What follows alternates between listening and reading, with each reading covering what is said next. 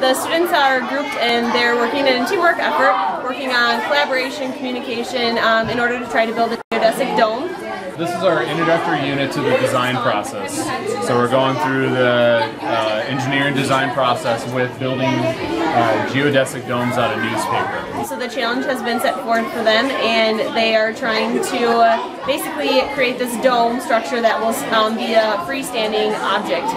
So we just walk through the ask, imagine, plan, create, and test or improve stages of the engineering design process. They have been assigned groups but they figure out their roles, um, distribute materials and tasks accordingly.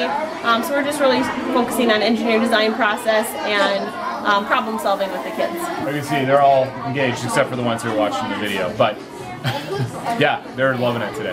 Um, the testing in the end, we look to hang something from the center of the dome and then add um, weight to see uh, what they can hold. We'll hang some textbooks or something from it to see. We're still figuring that part out actually. Put a challenge out there to see if they could hold a two-year-old, but it's a challenge.